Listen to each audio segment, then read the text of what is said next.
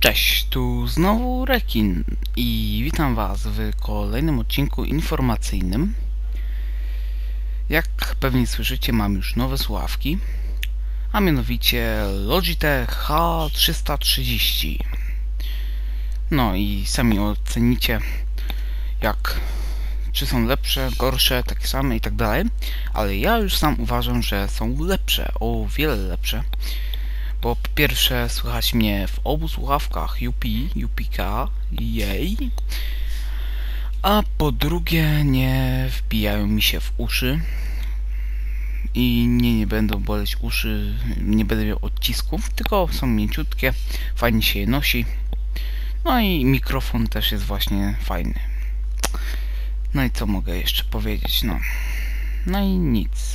A, mogę jeszcze powiedzieć to, byłem właśnie po te słuchawki dzisiaj w Mediamarkcie.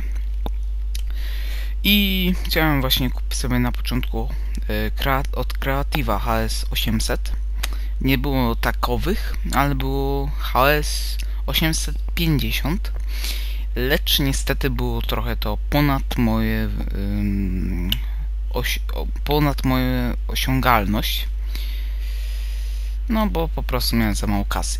No i tyle. No to było ponad 200 Z, a ja miałem około 120 ze sobą wziąłem, więc nie za bardzo. Ale akurat znalazłem Logitecha za stówę i było idealnie.